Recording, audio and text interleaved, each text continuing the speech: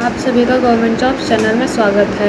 Jobs, admit card, result etcetera की information जानने के लिए हमारे चैनल को सब्सक्राइब करें और बेल आज इस वीडियो में हम आपको बताने जा रहे हैं एन टेक्नीशियन रिक्रूटमेंट के बारे में, जो सभी कैंडिडेट साइंस स्ट्रीम से बिलोंग करते हैं और जिनके पास आईटीआई का सर्टिफिकेट है, वो सभी कैंडिडेट इस रिक्रूटमेंट में अप्लाई कर सकते हैं।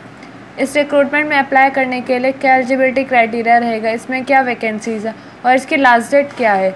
इससे रिलेटेड पूरी जानकारी के लिए आप हमारी इस वीडियो के साथ एंड तक बने रहिए।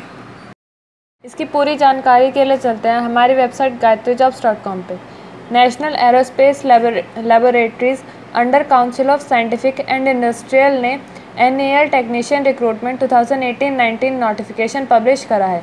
इसमें टोटल 47 वैकेंसीज़ हैं डिफरेंट डिसिप्लिन की पोस्ट में। जो सभी कैंडिडेट्स इसमें अप्लाई करना चाहते हैं और एलिजिबल हैं वो इसकी लास्ट डेट 24 नवंबर 2018 तक अप्लाई कर सकते हैं। इसमें आपका सिलेक्शन रिटर्न टेस्ट के बेस पे हुआ कराया जाएगा। ट्रेड डिसिप्लिन वाइज वैकेंसीज़ हैं। फिटर में 18 पोस्ट हैं टर्नर में थ्री पोस्ट मैकेनिस्ट में थ्री पोस्ट इलेक्ट्रिशियन में एट पोस्ट इलेक्ट्रॉनिक मैकेनिक में सिक्स पोस्ट ड्राफ्ट्समैन में एक मैकेनिक मशीन टूल्स मेंटेनेंस में एक post information tech and electronic system maintenance में पाँच post lab assistant chemical plant में एक पोस्ट कारपेंटर में एक पोस्ट इसमें अप्लाई करने के लिए कैंडिडेट्स के पास एस एस एल सी और टेंथ क्लास में minimum fifty five percent scoring marks होने चाहिए विद साइंस सब्जेक्ट और उनके पास आई टी आई का सर्टिफिकेट होना चाहिए किसी रिलेटेड ट्रेड में.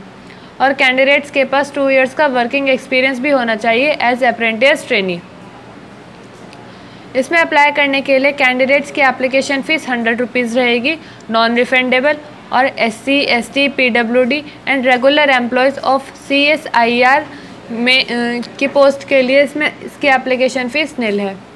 जो सभी कैंडिडेट्स इस रिक्रूटमेंट में सिलेक्ट हो जाएँगे, उनका salary scale level two rupees nineteen thousand nine hundred से रुपीज़ ट्वेंटी एट थाउज़ेंड तक रहेगा। इस रिक्रूटमेंट में अप्लाई करने के लिए आपको इनकी ऑफिशियल वेबसाइट इन पर विज़िट करना होगा। और नीचे दी हुई इस लिंक पर जाकर आप इस रिक्रूटमेंट से जुड़ी सभी नोटिफिकेशन भी पढ़ सकते हैं। हमने अपनी वेबसाइट के लास्ट में अप्लाई ऑनलाइन का लिंक दिया है। आप इस लिंक पर जाकर भी अपना फॉर्म अप्लाई कर सकते हैं।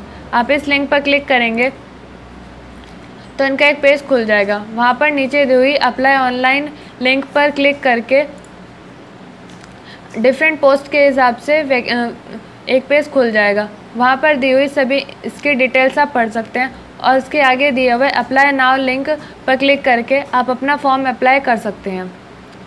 आपको हमारी ये वीडियो कैसी लगी, हमें कमेंट करके ज़रूर बताएँ। हमारी वीडियो को लाइक एंड शेयर करें और हमारे चैनल को सब्सक्राइब करें। Thank you